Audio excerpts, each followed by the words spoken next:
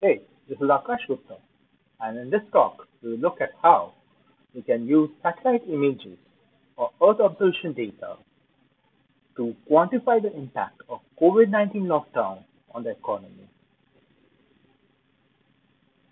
This, what you see over here, is a composite image taken by Sentinel-5.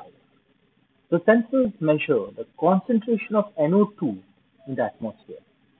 Now, NO2 is a byproduct of burning of fossil fuels, so it can be seen as a proxy of industrial activity.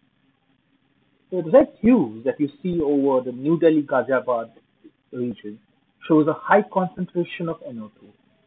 We can see some similar high concentration regions to the south of Varanasi, around Jamshedpur and Bhilai, which are large industrial complexes.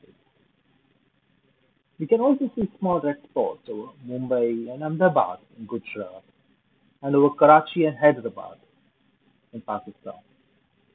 This image was taken in April 2019, last year. A similar snapshot taken in April 2020 shows a major fall in pollution levels. This is a result of the lockdown measures and the subsequent shutdown factory output. At PyCon Nigeria, we will discuss this use case in detail, also examine other Earth observation data that can be used to measure the economic impact of COVID-19 lockdown. See you.